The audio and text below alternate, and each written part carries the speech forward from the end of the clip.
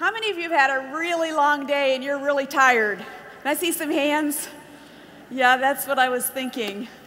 You know, I was aware of that, so I want to promise you that I'm going to have us out of here by 9 o'clock tonight. That's Pacific time.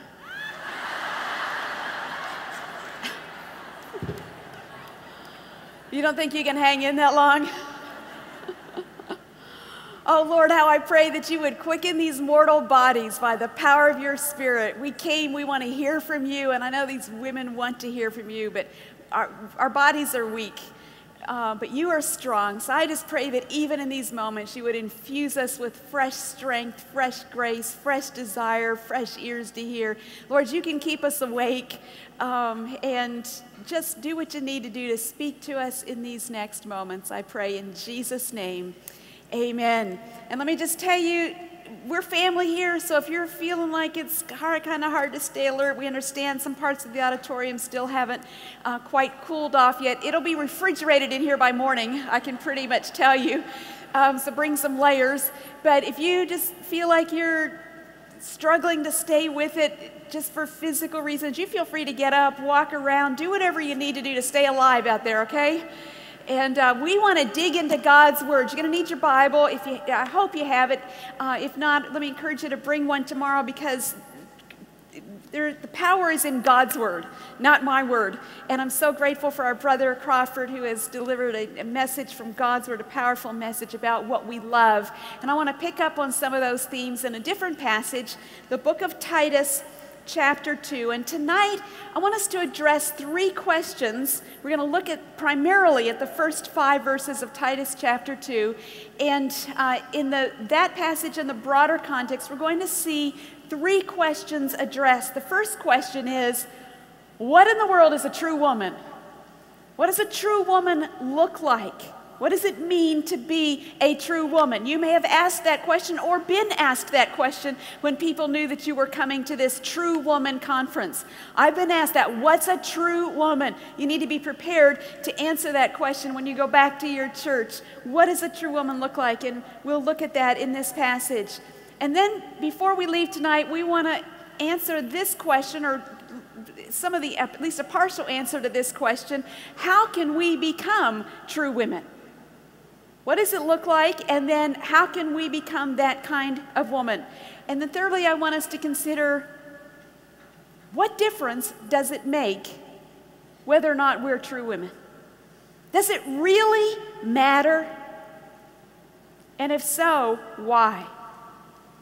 What is a true woman? How can we become true woman? And does it really matter? You've sensed a, so, a, tone of urgency. Now is the time, is the byline for this conference. And you say, does it, is it really that important that we become true women of God? I hope that you will be convinced by the time we're done tonight that it really, really matters and that we truly can be true women of God.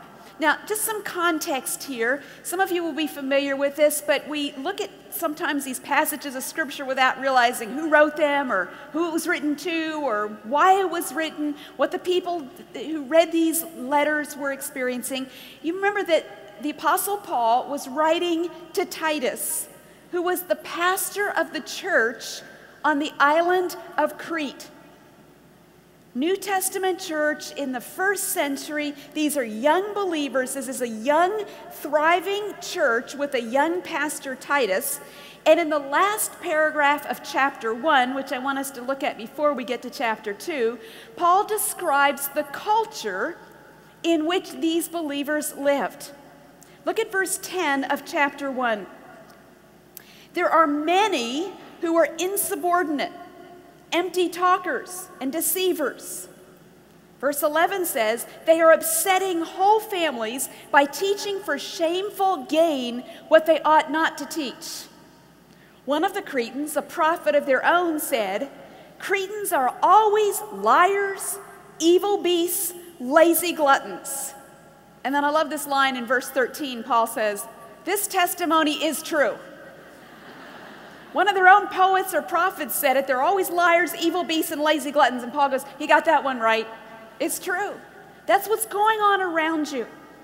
Look at the end of verse 15. Their minds and their consciences are defiled. They profess to know God, but they deny Him by their works. They are detestable, disobedient, unfit for any good work. Now, in the culture there on Crete, there was a lot of false teaching. There was teaching that was not in accordance with the Word of God. People were teaching these things, and the result was that people were living ungodly lifestyles. Because you believe something false, you're going to live a lifestyle that is not in accordance with God's Word. In fact, Crete was proverbial in the ancient world for its immorality. It was just known for being a detestable, disobedient, vile people. Does any of that sound familiar? Does that sound like what you might read if you turned on your TV tonight, which you're not going to do, and turned on the evening news? That's the culture in which we live.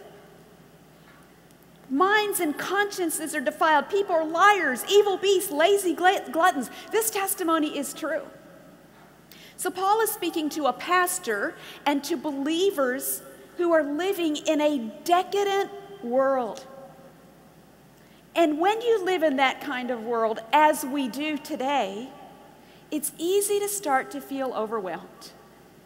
It's easy to feel discouraged. Does no one still believe in the sanctity of marriage? Does no one still believe in truth? Does no one believe, choose what is right? Has the whole world gone off course? And the answer is yes. But that's easy to become, it's easy to become discouraged in that kind of world. And what do you do when you live in that kind of culture?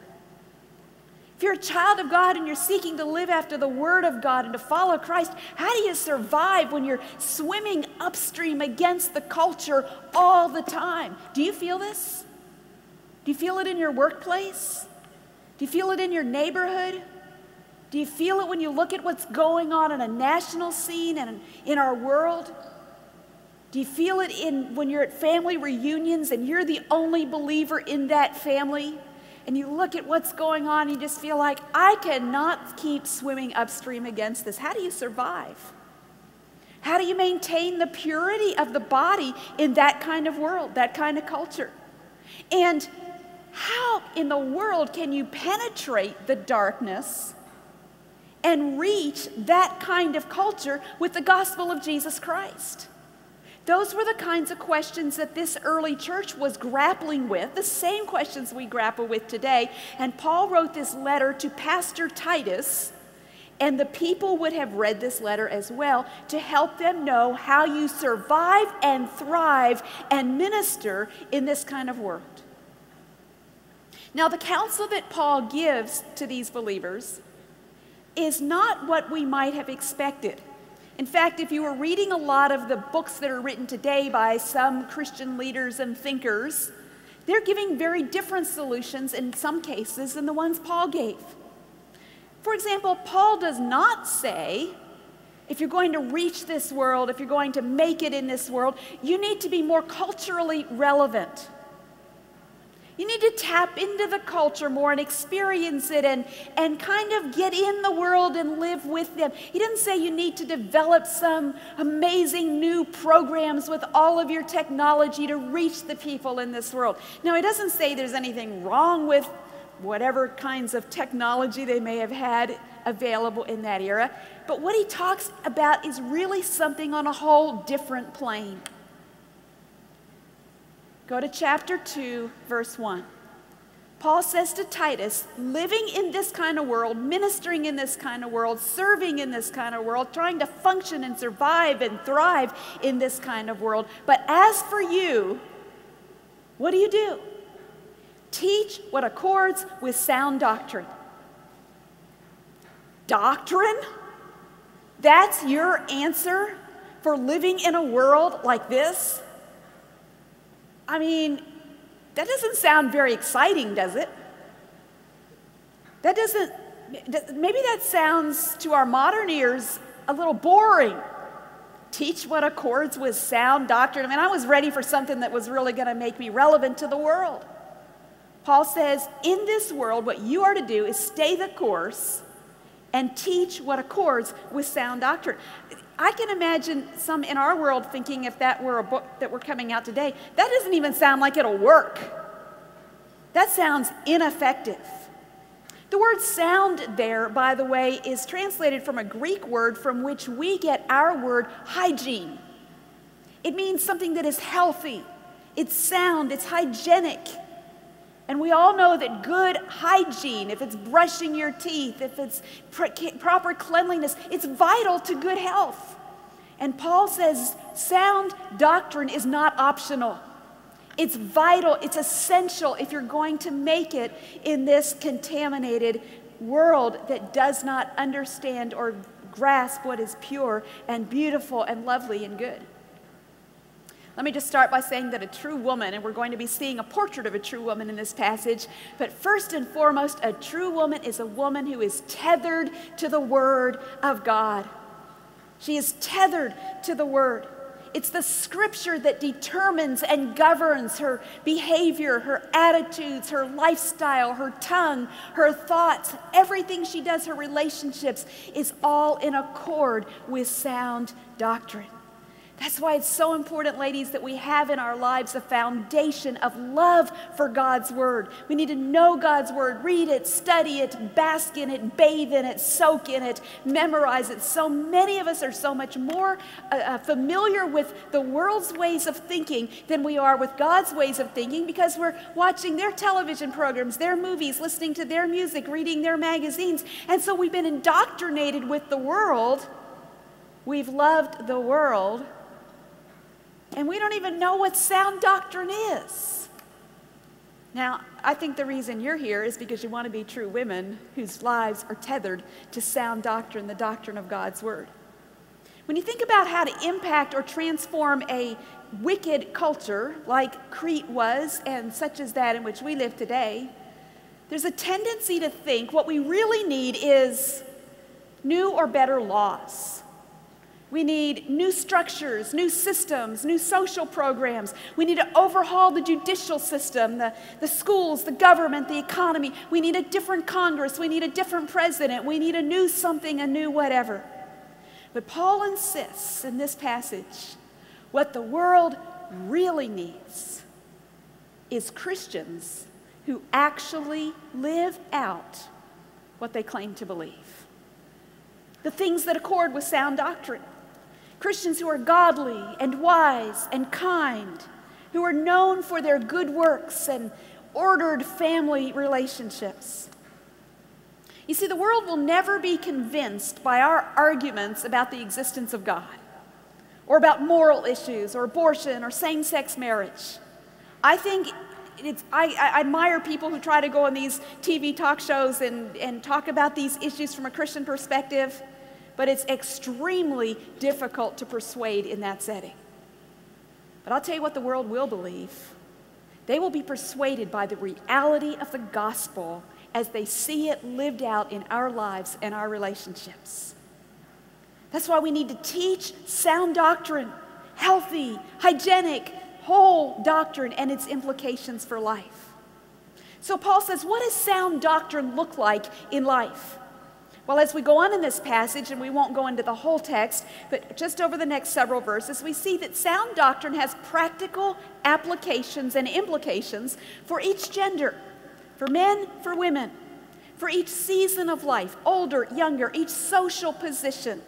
Each situation of life has applications of sound doctrine. So Paul starts with older men.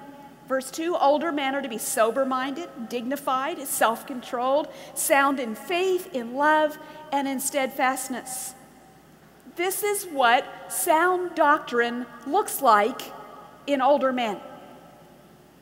Now, since we don't have too many men or older men here, and I wasn't called to preach to them, I'm going to move on to verse 3, if that's all right. Verses 3 through 5, Paul says, What does sound doctrine look like in women? And he starts with older women, moves to younger women. What does it mean to be a true woman? What does a true woman look like? And we're going to see a portrait of that in these next few verses. Let me read verses 3 through 5. Older women, likewise, are to be reverent in behavior, not slanderers or slaves to much wine. They are to teach what is good, and so train the young women to love their husbands and children, to be self controlled, pure, working at home, kind, and submissive to their own husbands, that the word of God may not be reviled.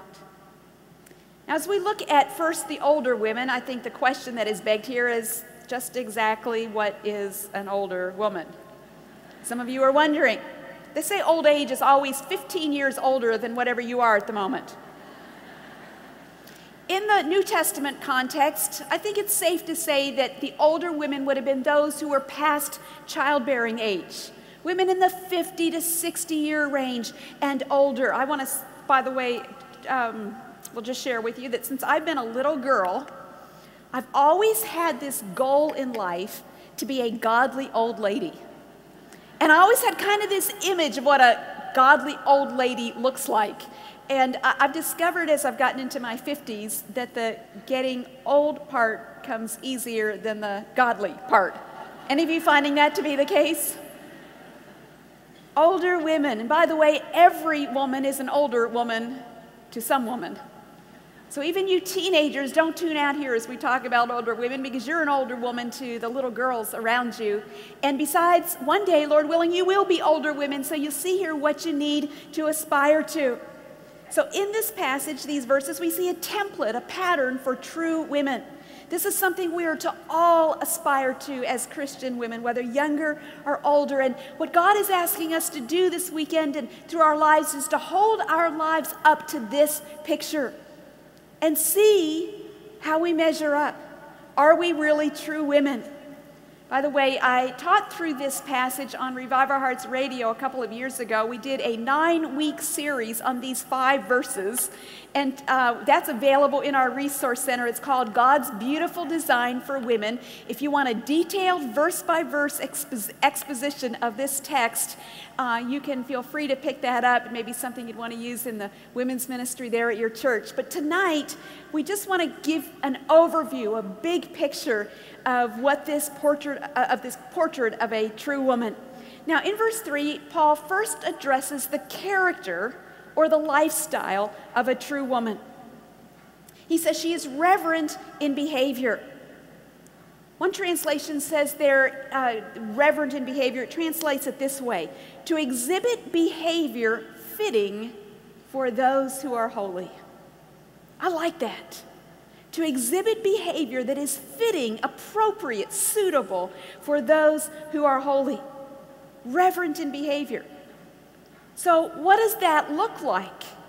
Well, Paul says that reverent behavior affects the way that we walk, the way that we talk. It affects everything about us. And so he fleshes that out in the next phrase reverent in behavior, not slanderers or slaves to much wine. Because those things are not fitting for those who are holy. Not slanderers, Paul says. That has to do with the issue of our tongues, and more broadly, I think by application, how we treat others, how we speak of them, about them, to them, and how we think about them, how we treat them. Not slanderers and not slaves to much wine. If we're living in accordance with sound doctrine, we're not going to be much slaves to much wine. And you're thinking, phew, I'm glad I fit that characteristic. Well, let me just say, first of all, there's a lot more alcohol addiction and substance abuse among Christian women today than I think most of you may realize. These are challenging issues drugs, um, alcohol, and other types of substance abuse. But I think the principle is broader than just substance abuse here. I think Paul is talking about more broadly something that is a spirit or a mindset of indulgence. You know, as we get older, I, I, pondered this when I started digging into this passage. If Paul's going to mention three things to older women, why is one of them not slaves to much wine? Like, why did he pick that? Are these all women, old women? We're all getting drunk. What's the issue here? And as I've gotten older, I've realized that it's easy to think I've paid my dues. I deserve a break today. I'm going to do what makes me feel good. And Paul says, no, that is not in accord with sound doctrine. What is in accord with sound doctrine is that you live a temperate lifestyle, a moderate lifestyle. And so Paul says these women are not going to use substances to escape from emotional pain, eh, from emotional pain, to self medicate emotional pain. They are not living for pleasure. They are not living to indulge their senses. It goes back to what we heard from Pastor Crawford, doesn't it, in 1 John 2? They don't love the world, the things that this world offers, and how it uh, titillates their senses. They're not addicted to that, they're not drawn to that. So Paul addresses the character of a, of a true woman. And then Paul addresses the calling or the mission of a true woman. They're to be reverent in behavior, not slanderers or slaves to much wine. That's their character. But what's their calling? Look at the end of verse 3. They are to teach what is good and so train the young women. Older women have a calling, a mission in life. But notice that character comes before calling. Life comes before ministry. You can't teach others what you have not learned or are not practicing yourself. And I think that's one of the reasons that so few older women in the church today are discipling younger women.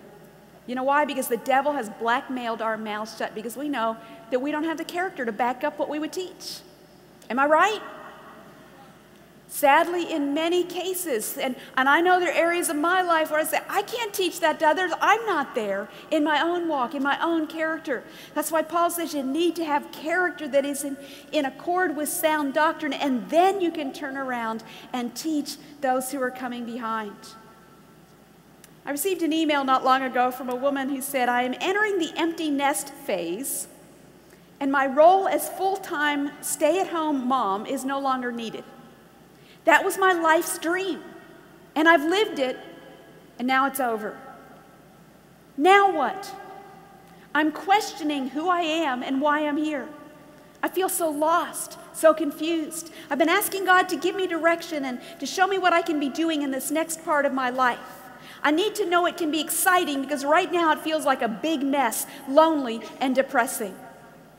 How many empty nest season of life women do we have in this now. I know they empty and then they come back, right? But if you're approximately in empty nest season of life, a lot of women here. Some of you may have felt, and I've seen this in a lot of my friends who are just entering into that season. They've poured themselves into their children, their families, and then their children are launched, and these women start to feel like, what am I supposed to do now? Who am I? Well, Titus 2, the passage we're looking at, gives you the direction, the mission, the purpose that you have been looking for. It says that older women are to walk with God, to live exemplary lives. These women have faithfully trained and raised their own children. And now they're to train and teach other women who are in the childbearing, uh, childbearing child rearing season of their lives. And we are to teach by the example of our lives and by being intentional in passing the baton of truth and faith onto that next generation. Ladies who just raised your hands, this is not a time to retire, to take it easy. We need to keep our heads in the game now. These younger women need the discipleship, the investment, the cultivating of a heart for God, that we can be investing in their lives in this season. And as you look at this passage, you see older women teaching younger women. You see that this discipleship takes place in the context of relationships, in the context of community. That's why it's so important that you be plugged into the life of your local church where you can do life together. God didn't send me to disciple the women in your church. We can help, we can lift up your hands, we can provide resources, but God called you to do that. Because you're there. You can live with them. You can walk with them through the seasons of life, through its challenges, through their failures, through uh, temptation. You can walk with them and you can come alongside them and take them under your wing and say, Here's how it's done. You can demonstrate what is in accord with sound doctrine, how to live out the gospel. It is communicated life to life, heart to heart, woman to woman. It's truth incarnated. Now, some of you are thinking, I can't do that because I have failed. I have not lived out in my earlier years what it means to be a true woman of God. I messed up my marriage, or our marriage didn't make it for whatever reason. Our kids aren't walking with God. I don't have the character. I've got these addictive issues. I have failed. I can't disciple these younger women. Got an email this past week or so from a woman who said, I'm 79 years old, and I realize how self centered my life has been, and how many times I missed the opportunities to serve my Lord and be the example I should have been. Hearing what a true woman should be has pierced my heart. I have failed so miserably. However, your message this morning spoke to my heart and made me realize that as weak as I am right now, parentheses, I'm battling some illnesses. As weak as I am right now at age 79, as an older woman, I need to encourage and be the example and shine the light of Christ in any way I can to the four generations in my family and to friends and acquaintances. Maybe that's your story. And can I just say you can teach out of failures? Because your failure ought to drive you to the cross. It ought to drive you to Christ. It ought to drive you to the grace of God that can transform your life. It ought to drive you to the Word of God that can make you a true woman even at 79 years of age. And then out of God's fresh overflow and abundance and infusion of grace into your life, you reach out and you share with the next generations to coming behind what God is doing in you. Some of you have been taking, taking, taking for years. You have sat in Bible studies, you've been through precepts, you've been through community Bible studies, you've taken every Beth Moore course there is, and whatever else I haven't named here. You've been sitting and soaking and taking it in and underlining in your Bible and filling out your notebooks. And I just want to say that you need to take what you have learned and plant those seeds in the lives of other women. You need to become a giver in this season of life. You've had truth poured into you. You need to turn around and give truth out to others. Now, what are these older women supposed to teach the younger women? Well, Paul gives us a curriculum here, and there are other places in Scripture we could get additional insight here, but just in this passage, we have plenty to keep us busy for a long time. Verse 3 of Titus 2 they are to teach what is good, and so train the young women to love their husbands and children, to be self controlled, pure, working at home, kind, and submissive to their own husbands. Now, take a deep breath. Do you know what I mean when I say that that is a countercultural list? That's radical in this world. It for sure is not politically correct. But I want to just remind us that that is God's way. And Paul says to Titus, these women are to teach what is good. God's way is good. God's way is wholesome. It is healthy. It is beautiful. It is lovely. It is true. It is what will bring lifelong and eternal rewards and blessings. We've let the world convince us that there's something really weird about this stuff. That we're just like this drummer we're marching to is out there from another planet. No, they're the ones who are off marching to the wrong drummer. This is God's drumbeat, and it's good, it's good, it's good, and it's what we're to teach. Let me make a few observations about this passage. First, these qualities that we're seeing listed women who are, have reverent behavior and not slanders, not slaves to much wine, the seven I just read for younger women these qualities are what flow out of believing sound doctrine. When you believe sound doctrine, when you, when you really believe it, this is what life is going to look like. This is the kind of character you will have. And let me just say that you may know your Bible backward and forward. You may call yourself a Christian. You may be active in ministry. But if you do not have reverent behavior, if you don't exhibit behavior fitting for those who are holy, if you use your tongue to slander others, if you are self indulgent, or have an addictive lifestyle, if you don't love your husband and children, if you're not self controlled, if you're not morally pure, if you're not managing your home well, if you're not kind, and if you're not submissive to your husband, I don't care how many tickets you bought for people to come to the True Woman Conference, there's something wrong with that picture. There's so many professing believers today who have this huge gap, and many of us in this room, and all of us in some ways, have this gap between what they be- say they believe and the way they actually live. But according to Scripture, there is no such valid separation between belief and behavior. By its very nature, the gospel transforms the way that we live. You can't claim to be a saved woman and not live like a saved woman. It just doesn't make sense. Your lifestyle either proves or disproves your claim to know and follow Christ. The gospel of God, the grace of God should make us distinctive, different in the way that we think and act and talk and dress and eat and drink. Everything should all be done for His glory, for the furthering of His reign and His rule. I loved what that woman at McPherson Women's Prison said. Uh, she said, He's changing everything about me. And my eyes teared up as I heard the testimonies of those women. Could you say He is changing everything about me? Then in this passage, I see the priority that God places on the home. Four of these qualities in verses 4 and 5 relate specifically to marriage and family. Paul assumes that young women that are being trained will be wives and mothers.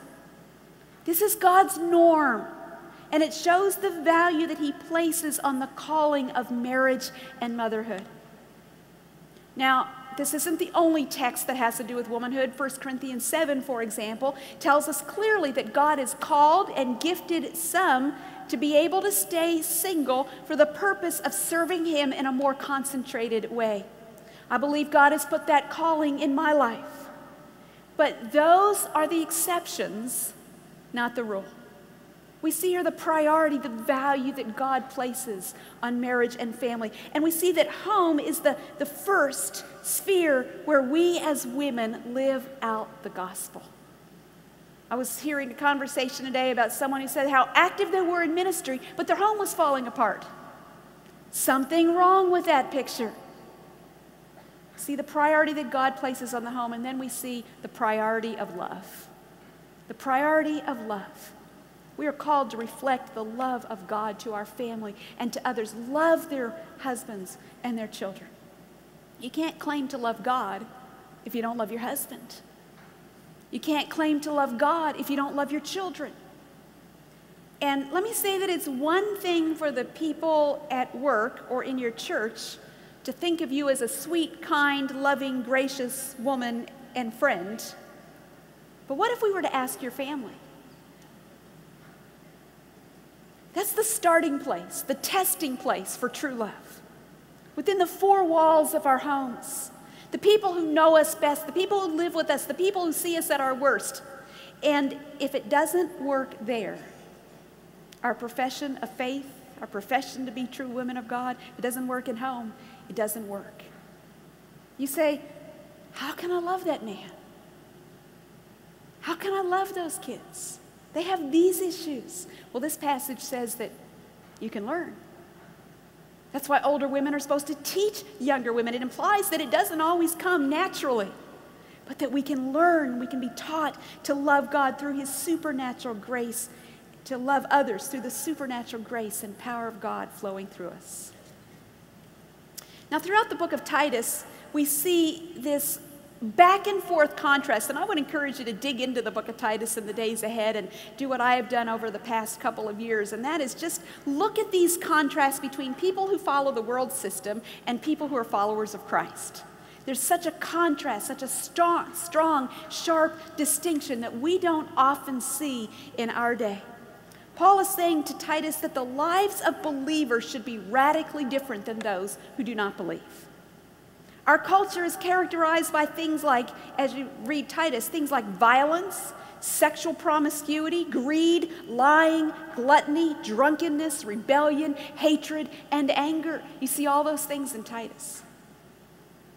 But because of how the gospel has changed us, our lives are supposed to be different, countercultural. The world is supposed to be able to look at Christian women and see a humongous difference between us and them. Not that we're weird or strange, but that we're characterized by things like love, gentleness, purity, self control, truthfulness, submissiveness, well ordered family relationships. Just the opposite of the character of the world. In fact, let's just walk again through these five verses we just read. I hope you have your Bible right there. I, I, want you to dig in and see it for yourself. Let's just walk for a moment, phrase by phrase, through these five verses. I want to show you the contrast between what a believer looks like and thinks and the opposite of how the world thinks and looks a life that has not been transformed by the gospel. In verse 1, we read about sound doctrine. A true woman is going to live a life that is based on the truth of God's word. But if your life has not been impacted or transformed by the gospel, you're going to minimize the importance of doctrine. And you're going to live your life believing lies, believing things that are not true and are not sound. In verses 2 and 3, Paul addresses older believers and he says they are to be a model of godliness and spiritual maturity. And they are to be intentional about passing the baton and investing spiritually in the next generation. But those whose lives have not been impacted or transformed by the gospel, older people, the, the, the world's model for that is you Live it up. Pursue your own pleasures. Retire. Live your own life. You've paid your dues. Now you can spend your life seeing the USA in your Chevrolet or whatever, traveling in your RV, hobbies, taking it easy. Just no thought for others, but just for self in those older years. In verse 3, Paul says that older women are to be reverent in behavior. But those lives that have not been transformed or impacted by the gospel will be coarse and vulgar and secular. They will not live lives that befit holiness. Paul says that true women are not to be slanderers because the gospel has changed them from the inside out. They're to speak the truth and speak words that build up. But a life that's not been transformed by the gospel will have loose lips. It's the kind of woman that you hear her before you see her. They wound others with their words. Paul says the true woman that's been transformed by the gospel, she's not a slave to much wine. She lives a temperate lifestyle. But a life that's not been transformed by the gospel is going to be self indulgent, addictive behaviors, substance abuse, eating disorders, living for pleasure, living for our natural senses, medicating emotional pain. Now, I'm not saying if you've struggled with any of those things that you can't be a Christian. But what I am saying is that when the gospel transforms your life, it will make you a different person. It will change your character. Yes, we're in process, but we're in process. We're not just staying over here in this life that looks like the world. In verses 3 and 4, Paul says that older women are to teach what is good, to train the younger women.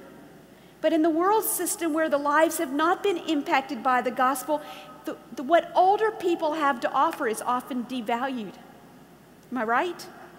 Who do we listen to in our world today? It's the young people, it's the young voices. We have an elevated view of those who are young and a diminished value placed on older people. We make older people feel uh, useless, marginalized.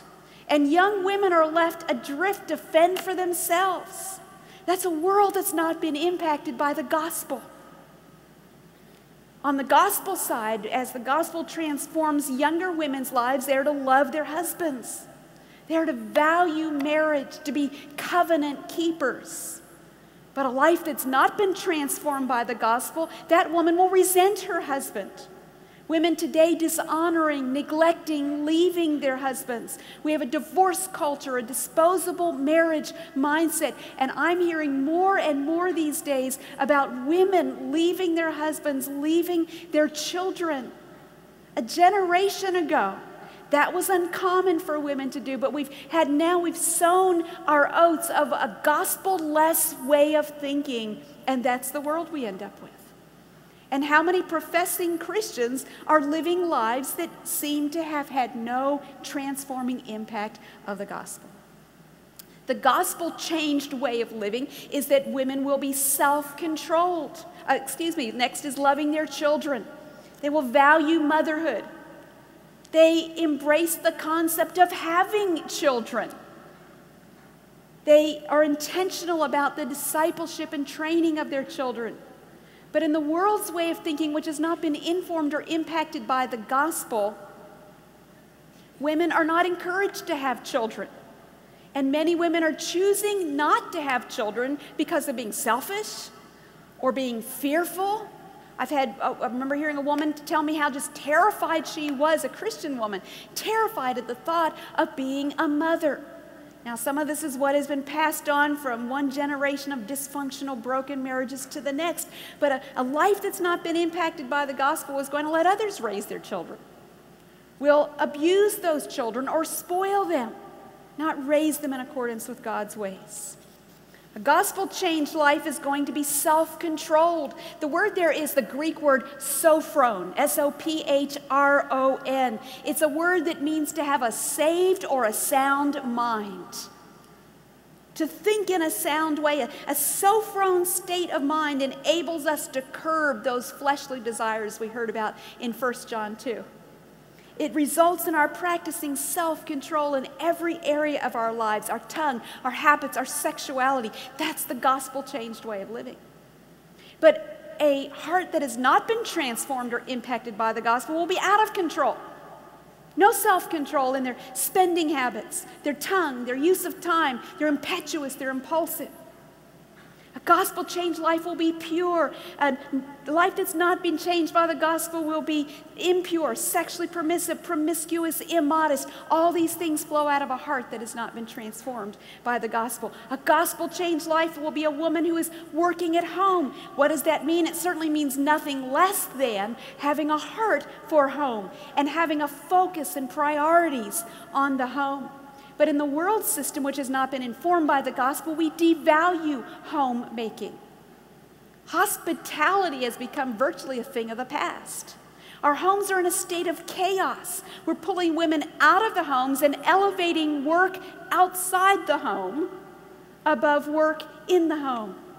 We've convinced women, a whole generation of them, that they can't make it financially if they focus their efforts first on their homes, care for their families. That's a lifestyle, a way of thinking that has not been informed by the gospel. A gospel informed way is kind, other centered, versus self centered, looking out for their own interests, submissive to their own husbands, finally. A gospel centered way of thinking, whereas a way of thinking that's not been informed by the world is resistant, controlling, competing, rebellious. How well does your life reflect the gospel and the grace of God. What it looks like, what it, uh, what it looks like to be a redeemed woman. So often I find myself not demonstrating, exhibiting what it looks like to be a redeemed woman, and that raises a problem. You spell out this incredible pattern template for true women, and then you realize, uh, if you've lived in this passage as long as I have now, it hits you full in the face over and over again I can't live that way. I can't be that kind of woman. I don't have the power. It's impossible.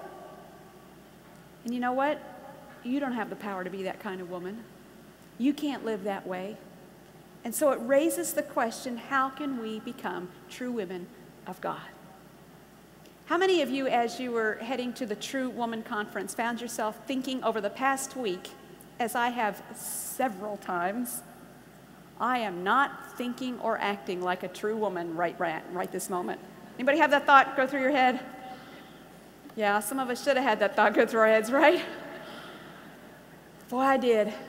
saying, what? I mean, I am act, I'm thinking like a pagan. I'm thinking like the world. My reactions are not like a true woman. How can we become true women of God? I want us to look just real briefly in verses 11 through 14 at three resources that will enable us to be true women and to live in accordance with sound doctrine. I'm going to give them to you quickly because I'm going to let you take them home and study them. First of all, in verses 11 and 12, we have the grace of God. For the grace of God has appeared, bringing salvation for all people, training us to renounce ungodliness and worldly passions, and to live self controlled, sophron, upright, it doesn't say uptight, that says upright, and godly lives in the present age. You see, the thing is, we used to be just like the world. In fact, if you move over a page to chapter 3, verse 3, Paul says, We ourselves were once foolish, disobedient, led astray, slaves to various passions and pleasures, passing our days in malice and envy, hated by others and hating one another. That's what we were like. So, what made the difference? What changed us? Go to verse 4 of chapter 3. But when the goodness and loving kindness of God our Savior appeared, He saved us not because of works done by us in righteousness, but because of his own mercy. Verse 7 so that being justified by his grace, we might become heirs according to the hope of eternal life. We cannot be saved by human willpower or effort, it's all the result of the grace of God. You say, I know that. Well, let me just remind us that you can't be sanctified by human effort or willpower apart from the grace of God. You will live your life feeling like a failure, hopeless, in despair, or you will strive and struggle and be rigid and uptight, and you will live the kind of life eking out godliness that no one around you is going to want to have anything to do with. Grace enables us to say no to sin and flesh and say yes to God, the grace of God. That's what we have in the present. The grace of God has appeared, teaching us how to renounce ungodliness.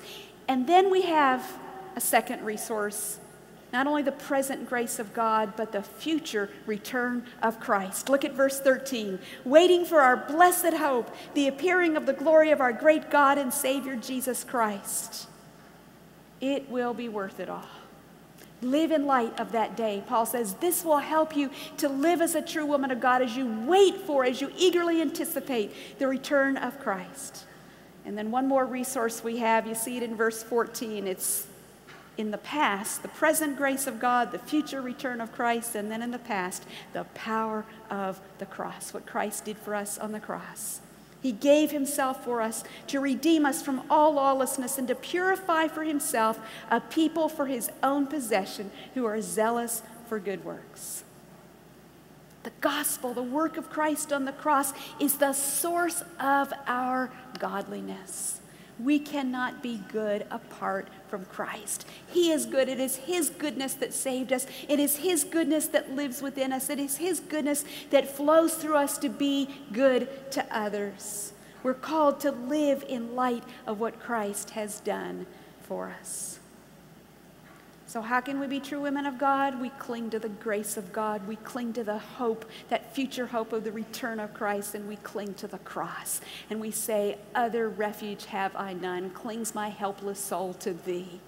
Oh Lord, I need you every moment of my life. Some of you came to this conference never having had a saving encounter with Jesus Christ. And God's brought you here so that you can get to the cross and you can come and trust Christ to save you. Some of you think that you're Christians, have thought that all your life, and you've been clinging to your own good works, to your own human efforts. You've been struggling and striving to live a life you cannot live. And some of you, God's going to make you realize by the power of His Spirit over these days, you have religion, but you do not have Jesus. And some of you are true believers in Christ, but you've been trying to eke out godliness apart from the cross and the grace of Christ. We can't make it without those resources. And so, the third question so what? Does it really matter that we live as true women? Is it really that important? What's at stake? What happens if we don't live this way? Well, Paul gives instructions in Titus 2 to believers in various situations and seasons in life. And he says, here's what the gospel looks like on each of you. And then he includes three purpose clauses in this passage. The first we find in verse 5 so that the word of God may not be reviled. That's one of the so whats. That's why it matters. So the word of God will not be reviled or blasphemed. And then look at verse 8 so that an opponent may be put to shame, having nothing evil to say about us. That's why we live gospel centered, driven lives. And then in verse 10, and I love this one why do we live a gospel oriented life? So that in everything we may adorn the doctrine of God, our Savior. Oh, ladies, there is so much more at stake here than our own individual lives. There's the ripple effect of our lives that extends much further than most of us realize our impact on the unbelieving world. That's what makes Christianity believable when we live as Christian women of God. And so I would ask you tonight does your life cause your husband, your children, others around you to disrespect or to doubt or to revile God's word? Does it give them ammunition to attack the gospel you claim to believe? Or does your life adorn, enhance the doctrine, the gospel of Christ? The 19th century German philosopher said it this way Show me your redeemed life, and I might be inclined to believe in your Redeemer. That's why it matters that we are true women. What difference does it make if you and I live godly lives in an ungodly world? Your life, your family may be one tiny island of godliness in a vast sea of wickedness. And that's how the kingdom of God spreads. Don't underestimate the impact of your swimming upstream, living a gospel centered life by the grace and power of Christ. You see, living as true biblical women is not just for or about us. It's part of a much bigger, grander plan, a purpose, a picture to make God's glory known in this world. As we close tonight, I want to share two letters with you that show the impact of a true woman. First of all, the impact that can be made on other women around us. And I want to share a letter that was written by a woman who heard uh, my dear friend Holly Elliff, who will be doing one of the breakout sessions tomorrow. Holly has been on Revive Our Hearts numerous times. Many of you know and love her voice. And this woman wrote to Holly, having heard her on our program a number of times. Here's the impact that Holly's life as a true woman had on this woman who had never even met her. She said, Dear Mrs. Elliff, I just had to write a note to tell you how much you have influenced my life for godliness through your advice on Revive Our Hearts. I've only recently come under sound doctrine, and I've struggled to learn how to live out godliness in the ordinary paths of life. When I first heard you on the broadcast, my soul was so famished for help that your calm, seasoned comments brought me out of a deep, dark place. What helped me was my sense that your knowledge wasn't theoretical it sounded like words from someone who had learned it in the trenches marrying, raising a family, cooking meal after meal, raising each child, and glorifying the Lord in it. You cannot imagine what it has meant to me to have a godly example as a role model to follow. Your friendship and counsel have helped establish a godly framework for my thinking. Thank you for giving warm words of godly counsel and advice, for standing on the Lord's commands to us instead of compromising. You cannot know how that has made a real impact on a life and soul so marred and scarred by sin and without any godly women to turn to for help. Thank you for helping to pull a despairing sister out of the muck and mire of sin. I'm sure when you were changing diapers, Holly has, as many of you know, eight children, so she's been through a lot of those changing diaper seasons, or listening to the same story again you could not have known that those were the very things that would make your advice so weighty and true for me, a single woman. When you speak, it's from the point of view of someone who's lived it, who has raised a family and had to work out the scriptures in close quarters. The Lord's word has molded you so that your broken life is sending out such riches, such wine. Please let older women know that the most valuable thing they can do is to develop in righteousness. Not the career or beautiful home. It is the life of righteousness that alone can help redeem broken lives. I never thought I would come to value God's ways above the world's or actually see how beautiful holiness is. But I have. And I thank you for being part of the Lord's way of revealing Himself and His loveliness and the beauty of living a godly life to me.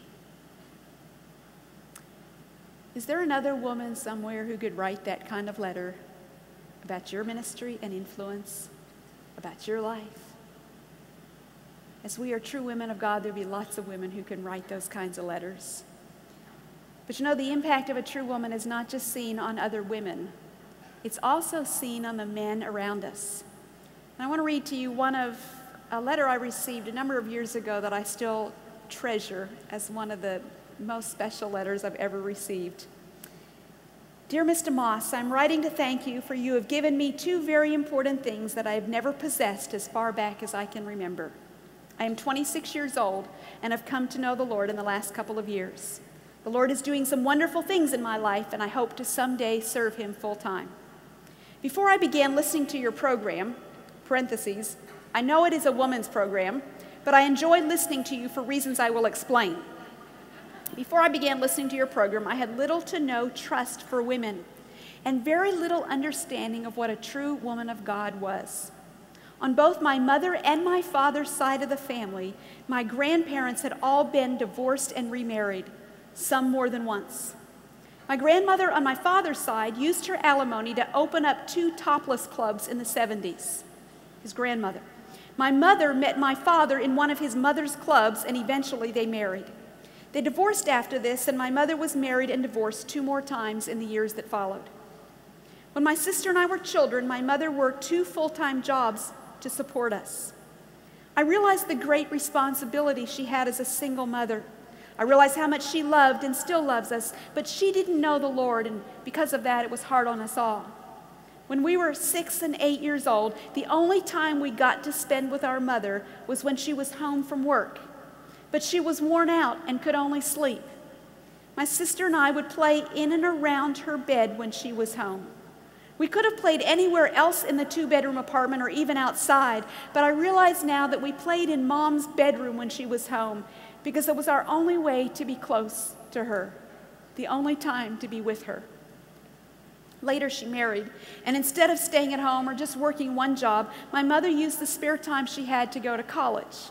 Everyone in the family was proud of her, but it left little time for us. Maybe when her schooling was finished, we would have more time with her. But this was not to be either. After graduating from college, mom began to climb the corporate ladder, working 60, 70, and sometimes 80 hours a week to get ahead in life, just keeping up with the Joneses. I've grown up since those days. I've learned a great deal the hard way. The relationships I've had since my teens with various women have never once been healthy. It was one bad relationship after another that helped me decide at an early age to forego all relationships with women. And this attitude only brought greater mistrust and deeper pain into my life.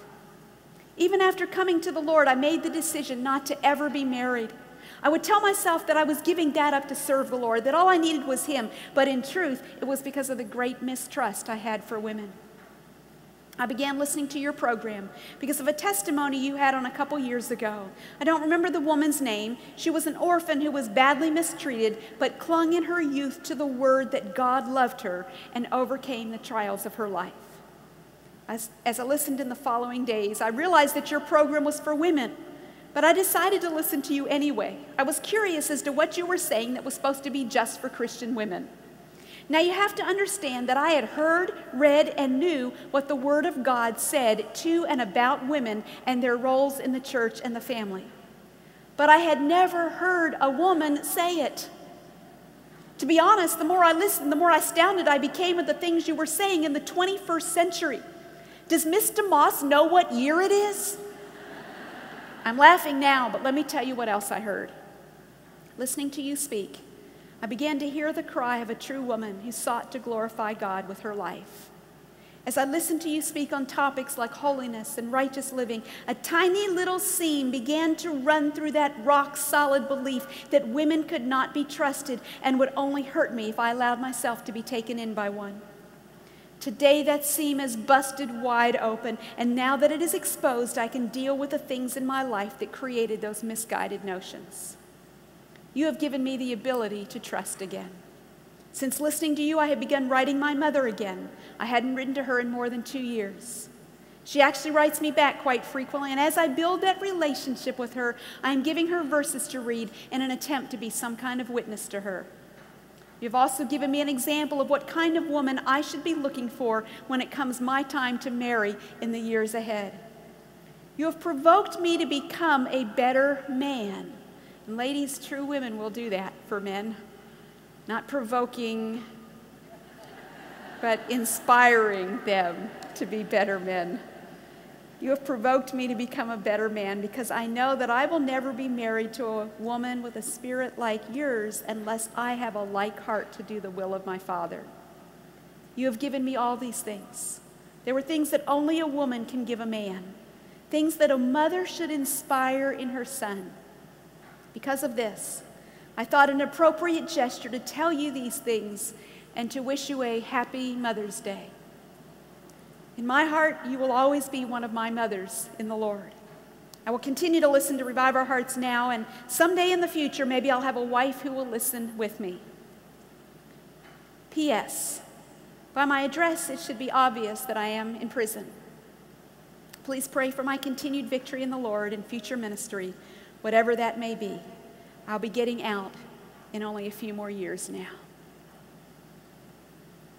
What would happen if every Christian woman were to live out the message of Titus 2? To live as those who have been transformed by the gospel of Christ. What would our homes look like? How might the men around us be inspired to pursue Christ? to desire Him?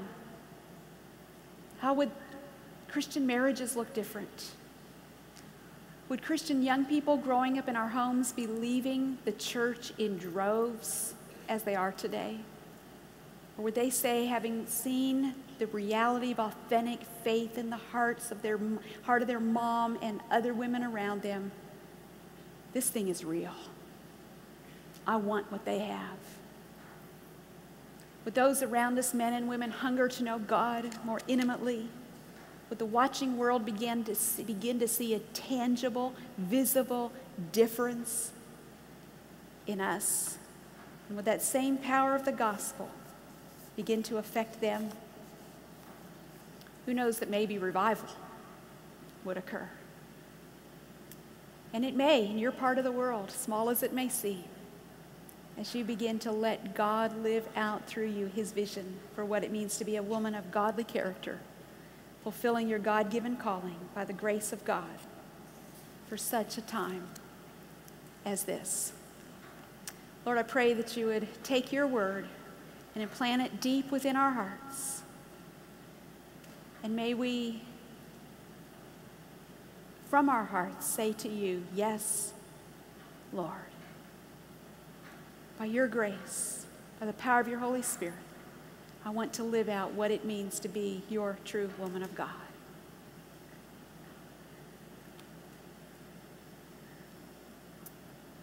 I pray in Jesus' name and for the sake of your great kingdom.